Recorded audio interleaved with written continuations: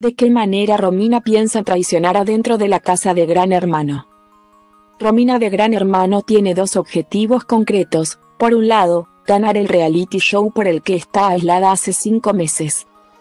Como el resto de los semifinalistas que estuvieron en la competencia desde el primer día.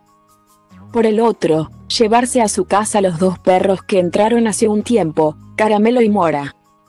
Romina Uric se adueñó de una de las mascotas, de Caramelo, ni bien los perritos llegaron a la casa. Ella alzó al rubiecito, lo puso en su pecho, lo besó, acarició y pidió quedárselo.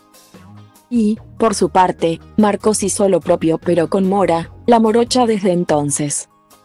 Se creyó que cada uno se lo llevaría cuando termine su rol en el juego pero ahora la exdiputada expuso su plan a fin de que los dos cuatro patas pasen a ser de su propiedad a fin de sean parte de su familia y los disfruten tres hijas. En la realidad que retomará en las próximas semanas, en su propiedad en el barrio de Moreno.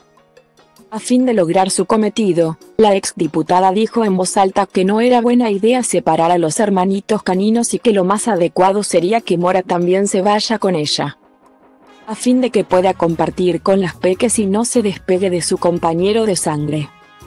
Súper atentos a todo lo que pasa con los participantes del programa, afuera y adentro de la competencia más exitosa del país.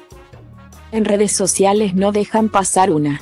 Comillas y se lo hicieron saber a Romina, por más que ella ahora no se enterará de lo que generó con su posible estrategia de adueñamiento tras ver compartir a sus hijas con uno de los perritos en el Zoom, en la visita que le hicieron horas atrás.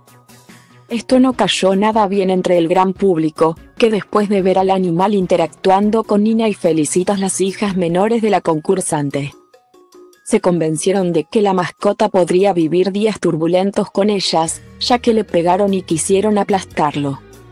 La definición, claro, está en manos de Gran Hermano, pero en las redes ya decidieron que sea Marcos el joven salteño, quien regrese a su provincia acompañado de Mora y Caramelo.